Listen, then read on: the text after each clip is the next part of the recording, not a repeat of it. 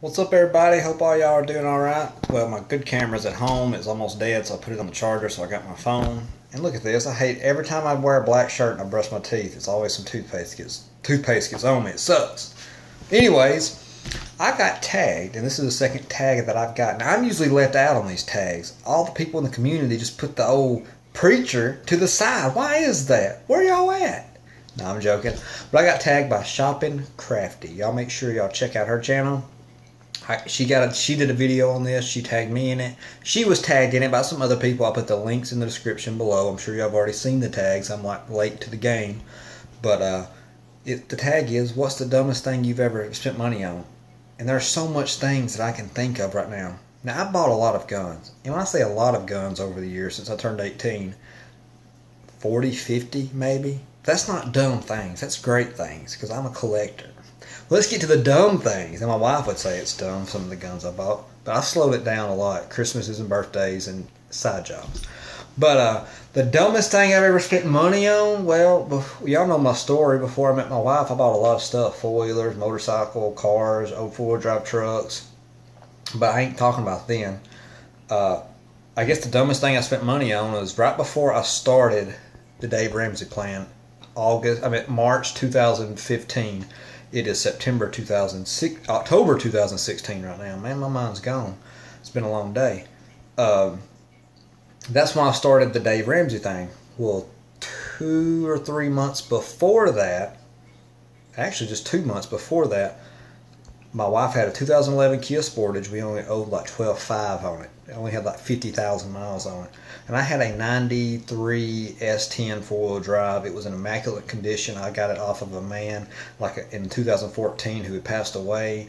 And it was just one of his little trucks. It had like 60,000 original miles on it. And I paid $3,500 for it. And I only owed like a thousand on it when I sold it.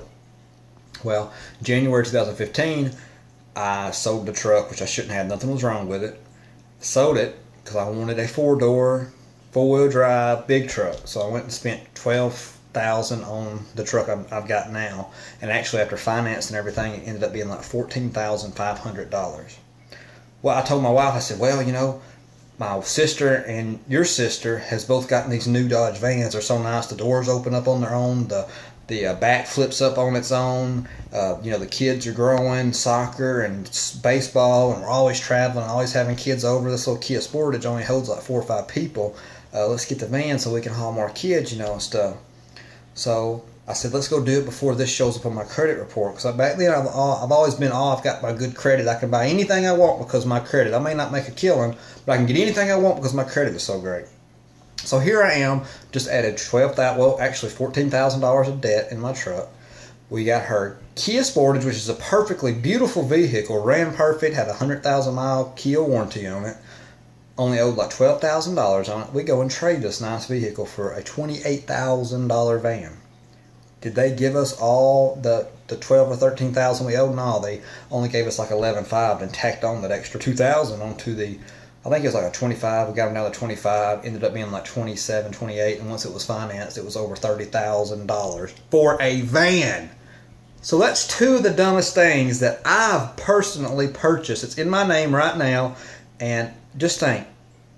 And the reason I started the Dave Ramsey thing is I added a $325 a month payment. And then my van payment was 355. That's $700 a month. Plus, at this time, I just had to get into Obamacare because the year before I didn't pay for insurance. But being self-employed, I had to pay for Obamacare, which was like almost $500 a month. So all this hit at once, and I thought, oh my God, what have I done? I've went too fast and jumped the gun and added all this stuff. I can afford to pay it, but we're not going to have much money left over. So here I am a year and a half later still paying on this junk and I owe, only owe 8900 on my truck, but it's at the shop right now getting looked at and it may be another three to five thousand dollar expense to get that fixed. I owe 21000 on the van now and we're keeping it forever. It's got a lifetime warranty on the motor and the transmission. We're keeping it forever, never getting rid of it.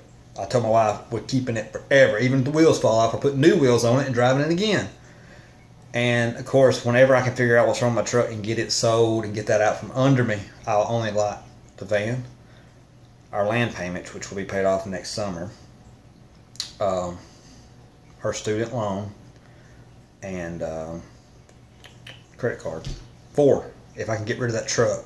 and the credit card and the land will be paid off next summer, which will only leave two the van and her student loan. So those are the two dumbest things I bought was vehicles. You know why? I mean, we can talk about little things. Of course, I bought little things, but that don't matter. Something that you're stuck into making monthly payments, and you have to remind yourself every time I go and give three hundred fifty-five dollars or go give three twenty-five dollars, three hundred twenty-five dollars for my truck.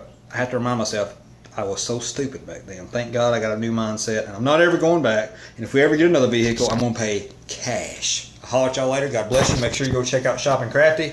Make sure you go check out our other cool channels I put in the description below. There's so many good ones in this community. Everybody is wonderful and they're all trying to reach the same goal. And we will all reach the same goal. God bless you. Hope you have a blessed weekend. Jesus still in the saving business. I may be in debt down here, but I'm forgiven of my, my sin debt. Amen. God bless you. See y'all.